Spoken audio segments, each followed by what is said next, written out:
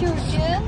This is the beginning of the flight, so I should look out the window here because it's pretty amazing. But the little ones, well, a little bit more good. See, there's a red